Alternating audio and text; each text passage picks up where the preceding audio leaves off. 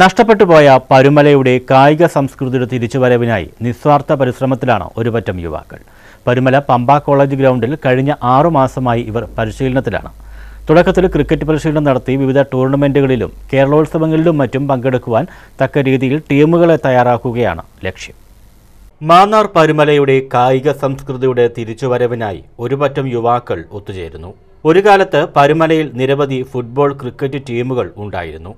ഈ ടീമുകളുടെ നേതൃത്വത്തിൽ പ്രശസ്തമായ ടൂർണമെന്റുകളും നടത്തിയിരുന്നു. എന്നാൽ വിവിധ ടീമുകൾ കളിച്ചിരുന്ന ഗ്രൗണ്ടുകളിൽ കോൺക്രീറ്റ് സൗധങ്ങൾ ഉയർന്നതോടെ കളിസ്ഥലങ്ങൾ ഒന്നൊന്നായി ഇല്ലാതെയായി. ഇതേ തുടർന്ന് യുവാക്കളുടെ ഒത്തുചേരലും കളികളും നിലച്ചു.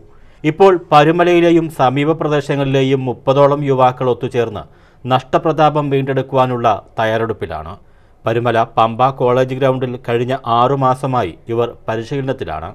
തുടക്കത്തിൽ ക്രിക്കറ്റ് പരിശീലനം നടത്തി വിവിധ ടൂർണമെന്റുകളിലും കേരളോത്സവത്തിലും മറ്റും പങ്കെടുക്കാൻ തക്ക രീതിയിൽ ടീമുകളെ തയ്യാറാക്കുകയാണ് ലക്ഷ്യം. ആദ്യ ലക്ഷ്യം വിജയം കണ്ടുകഴിഞ്ഞു. ഇനി കൂടുതൽ പേരെ പരിശീലിപ്പിക്കുവാനാണ് ഈ യുവാക്കളുടെ തീരുമാനം. സന്തോഷമുള്ള ഒരു അവസരമാണ്.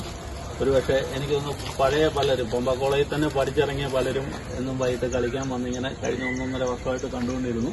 അപ്പോൾ അതിന്റെ ഒരു പൂർത്തീകരണം പോലെ ഡി സി പരുമല എന്ന് പേരിട്ടിരിക്കുന്ന ഈ യുവ കൂട്ടായ്മയുടെ ആദ്യ ക്രിക്കറ്റ് ടീം തയ്യാറായി കഴിഞ്ഞു.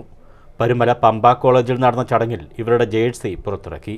ഇതിന്റെ ഉദ്ഘാടനം Pampa college principal doctor Sreekala നിർവഹിച്ചു. കോലാഹലങ്ങളിലേക്ക് നിങ്ങളുടെ ഈ യാത്രകൾ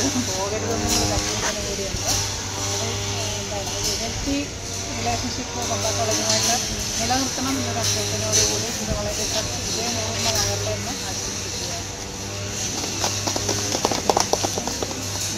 ഷബീർ അലി അധ്യക്ഷത വഹിച്ചു. Doctor Abhilash Santhosh Kaviyoor Dominic Joseph Prabeesh Soni V S Balu Vijil Varghese Gokul Ashwin എന്നിവർ പ്രസംഗിച്ചു. News bureau Mannar.